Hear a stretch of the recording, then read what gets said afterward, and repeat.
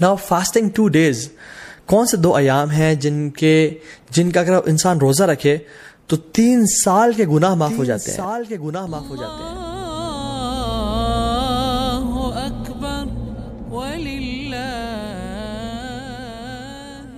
Yes you heard me right तीन साल के गुनाह माफ़ हो सकते हैं, अगर हम दो दिन का रोजा रखें। हदीस में क्या आता है? रसोल्ला सल्लल्लाहु फरमाया कि जो शख्स अरफा के दिन का रोजा रखता है, अल्लाह तआला उसके पिछले साल के और अगले आने वाले साल तमाम गुनाह माफ़ कर देते हैं।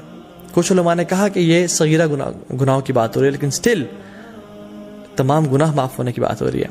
और योम आशूरा जो कि मुहर्रम में है, दसवीं मुहर्रम जो शख्स योम आशूरा का रोज़ा रखता है अल्लाह ताला उसके पिछले एक साल के गुनाह माफ़ कर देते हैं। तो मैं आपको एग्जांपल देता हूँ अगर अभी 1441 चल रहा है तो जो शख्स अराफा का रोज़ा रखेगा उसके 1440 के गुना और 1442 के गुना माफ़ हो जाएँगे। और जो शख्स अब बिल्कुल अगले महीने मुहर्रम के महीने योम आशूरा का रोज़ा रखेगा विद नाइन्थ एज वेल तो उसके 1441 के भी गुना माफ़ हो जाएँगे।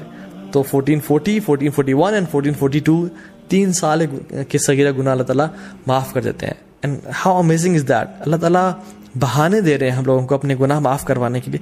लेकिन हमें से है कोई जो आगे बढ़ के इन अपॉर्चुनिटीज़ को ग्रैप कर ले और अपने रब को वाकई में राज़ी कर ले। योम अराफा क्यों इतना इंपॉर्टेंट है?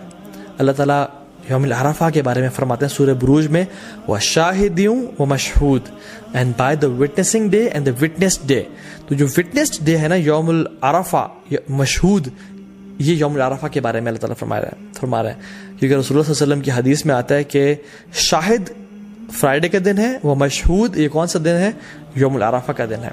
अल्लाह सुबहान ताला इस दिन जहन्नम से इतने ज़्यादा लोग आज़ाद करते हैं कि किसी और दिन जहन्नम से लोग आज़ाद नहीं करते।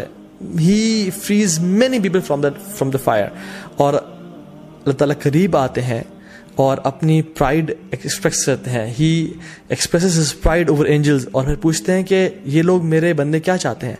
और कुछ और, और रिवायत में भी आता है कि ये जो मेरे बंदे हैं ये जो डिसेबल्ड और ये मिट्टी से आलूदा हुए हुए बंदे हैं आजी और इनके सारी की निशानी है उनकी ये क्या चाहते हैं मुझसे? और अल्लाह ताला इन पे फ़ख्र करते हैं और अपने बंदों को जहन्नम की आग से आज़ाद करते हैं।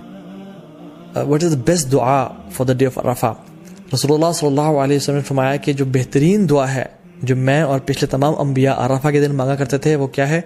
ला वहदहु शरीका लहु, लहुल मुल्कु व लहुल हम्दु व हुवा अला कुल्ली शैइन कदीर। दिस इज़ द बेस्ट दुआ to be recited on the day of Arafah तो इसको कसरत से इंशाल्लाह पढ़ें।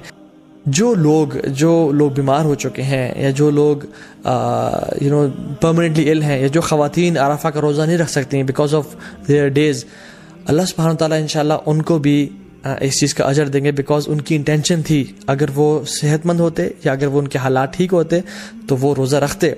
और इन ताला हदीस में क्या आता है, जो शख्स कोई भी अमल करे कंसिस्टेंसी के साथ, और अगर किसी वजह से उससे अमल वो छूट जाए तो अल्लाह सुबह ताली उसका बेहतरीन उसको अजर देते हैं।